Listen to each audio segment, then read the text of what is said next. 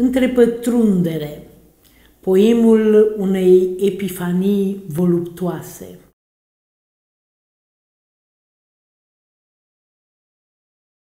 Pătrunzi în mine, iubirea mea. Agață-te de trupul meu ca o iederă nevăzută. Înainte ca lumea să ajungă să se năruie, crești ca o perlă în jurul inimii mele, inoculată în trup asemeni unei vietăți marine. E timpul să mă trăiești în bătaia soarelui, mângâindu-ne pe creștet ca pe niște cireși tineri în floare, înainte ca întunericul nopții și toate stelele să aibă parte de o prăbușire fatală dincolo de orizonturi, destrămându-ne în zorii zilei. Vino să ne înnecăm unul într-altul, eșuiază în mine, urcă sau mai bine coboară,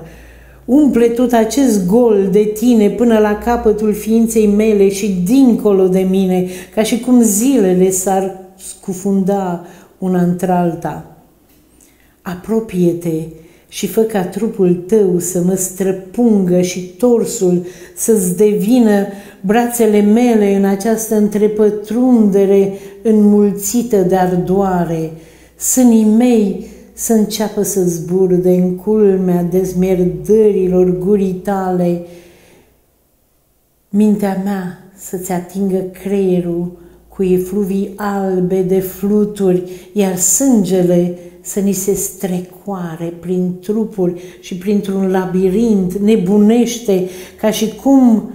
ne-am fi putut înălța fiecare până la cerul celuilalt,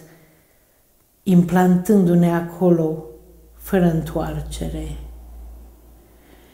Numai tu te bucurai de liberă trecere în acel interstițiu unde se plăsmuiau zburătoare cu aripi florale, nori din petale ca o plasmă vag alburie,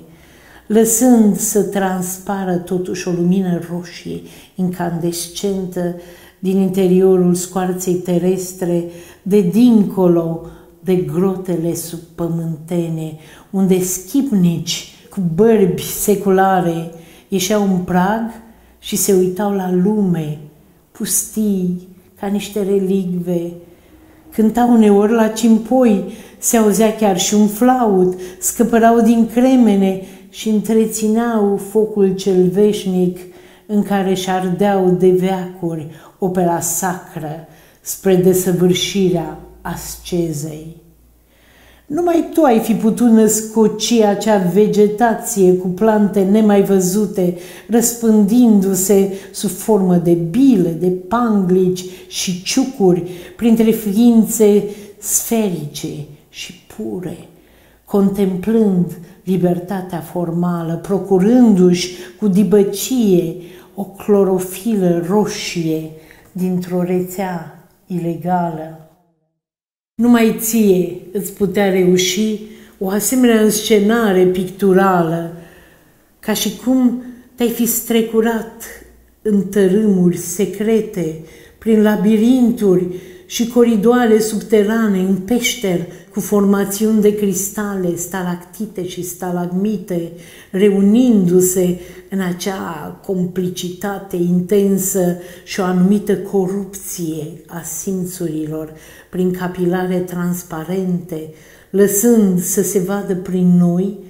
cum ne întrupăm unul într-altul, cuprinși într-o placentă străvezie, culminând cu o transmutație carnală, înviind unul dintre-altul, arzând de vii ca niște fluturi fascinați de lumină.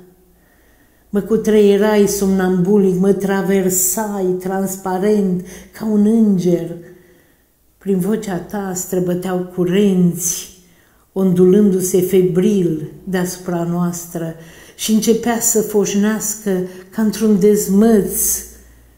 tot buchetul de panglici roșii în spirală, într-o provocare de muzici și coruri în care cântau deznădăjduite toate fostele tale iubite, ultragiate,